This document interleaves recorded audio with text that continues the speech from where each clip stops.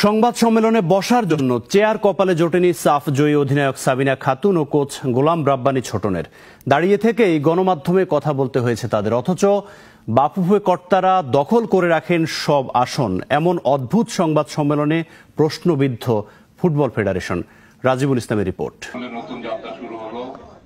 উৎসবের পুরো আয়োজনটা তাদের জন্যই। দক্ষিণ এশিয়ার শ্রেষ্ঠত্বের মুকুট যাদের হাত দিয়ে আসলো, ফুটবল ফেডারেশনের সংবাদ সম্মেলনে বসার জায়গা হলো না সেই নায়কদের। দাঁড়িয়ে থেকেই কথা বলতে হয়েছে গণমাধ্যমের সাথে। অথচ যারা আসনগুলো দখল করে রেখেছেন, তাদের এমন অদ্ভুত আচরণ প্রশ্নবিদ্ধ গণমাধ্যমে।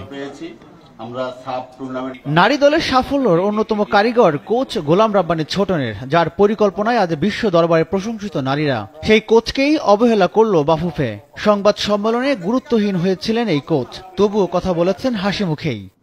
ক্যাপ্টেন আমাকে বলতেছিল স্যার যেটা আশা করিনি ওটা তো অলরেডি পেয়ে গিয়েছি।